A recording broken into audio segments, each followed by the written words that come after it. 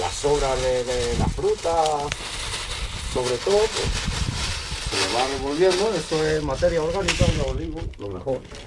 Ahora, pues, veis que aquí tengo tierra, ya le voy revolviendo de esta.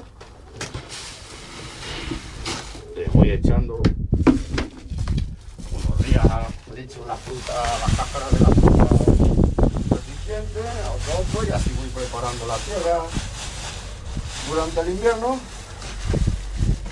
Voy echándole capa, voy echándole desperdicios orgánicos y eso es lo que hay, se le va revolviendo. Se prepara pues, la tierra para la siembra.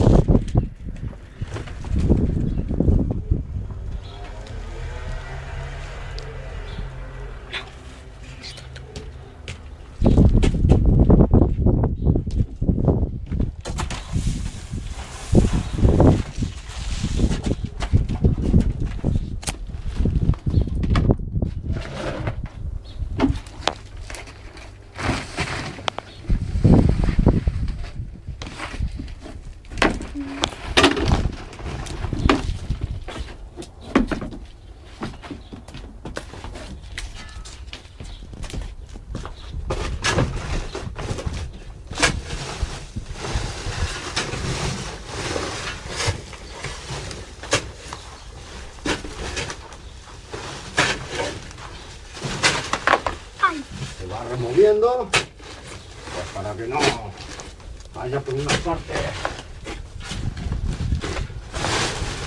sea todo tipo de una tierra y por otro tipo de otra. No, aquí veis un cacharro de estos, pues ya veis. Aquí es que este año voy a poner una parra. Una parra de estas de uva y, y eso luego lo iremos viendo que se sale. Bueno, ahora vamos a coger y vamos a rellenar unas macetitas aquí con más tierra.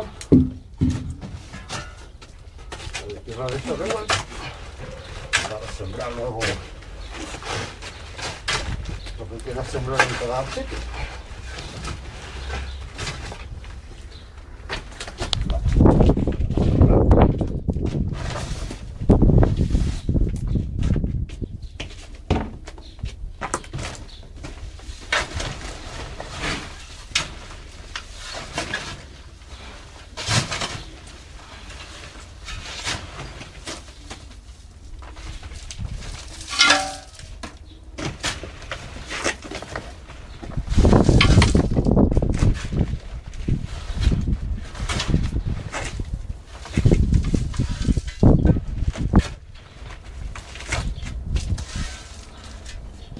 Bueno, pues esto de,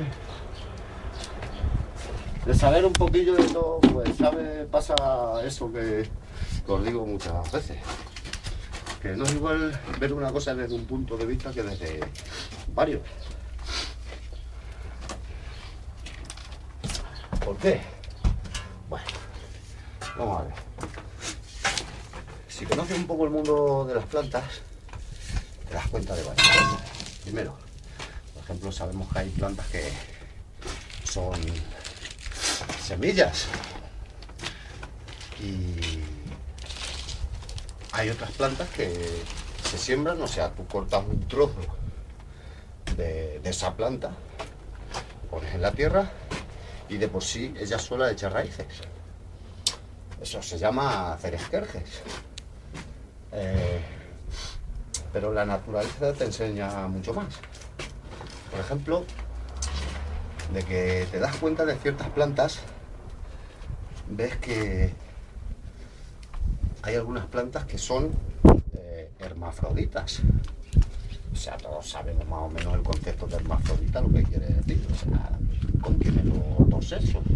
Es un ser que tiene los dos sexos. Eh, en pocas palabras, puede autorregenerarse, puede, eh, digamos, procrear por sí solo. Entonces, ves que de que hay una planta hermafrodita, esa planta echa frutos, echa flores eh, y echa eh, frutos, echa semillas. Entonces las flores eh, tiene un tipo de flor que echa semillas y tiene otro tipo de flor que echa fruto. Pero a su vez, ese mismo polen esa planta macho, esa parte macho, poliniza a la parte. Entonces, eh, ahí podemos ver el resultado de todo, o sea, esa planta nos da la evolución de la vida, o sea, tiene una parte hembra, una parte macho, la parte macho tiene la parte hembra y da frutos, pero da también semillas. Eh, hay plantas que el fruto es la semilla, pero otras plantas no es el fruto de la semilla, como ya os he dicho. Hay plantas que es la forma de, plantarlo, digamos, es hacer esquerje, hacer cortar trozos y, sembrarlos. Eh, hay varias plantas así, no es ningún secreto. O sea, hay gente que lo mismo se de todo esto. Conocemos, la, puesto ahí una semillita y tal, no, no es así. Pero, ¿qué nos enseña esto? Bueno, pues yo voy a decir que, nos enseña. Eh, las plantas hermafroditas, todas las semillas que generan, o sea, todas las semillas que genera cada flor que se poliniza, cada flor hembra que se poliniza con, con el macho, todas las semillas que producen ese fruto son o bien hermafroditas o bien hembras. Jamás aparece un macho. O sea, jamás, si esa planta está sola, jamás aparece un macho. Entonces, te quedas pensando y dices, vamos a ver, si